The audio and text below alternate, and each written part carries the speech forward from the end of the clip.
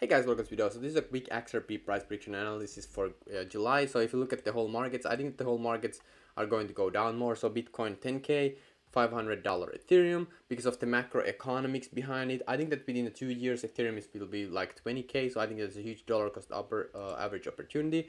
XRP, um, if you look at the chart here, I think we are going to go down for XRP. It's like 14 cent range. If you look at the logarithmic chart, it's kind of like we could go here 13 to 14 cent range. We could go even lower so we could go like 3 cent 3 10 cent range on sub 10 cents in my opinion. We could go because i think the whole market is going to kind of like a uh, like i don't know how long it's going to be but maybe if we flash crash then we find kind of like a bottom and then we from there on we just it's going to be boring and then we maybe crash again and that's the true bottom and after that everything takes off. That's what basically happened in the last pair on i no one knows what's going to happen in this new one but Right now, XR, I have uh, XRP is not part of my portfolio. If if we go back to like a crazy low price, I might buy a like a, a like buy a small bag because I think it can recover from there.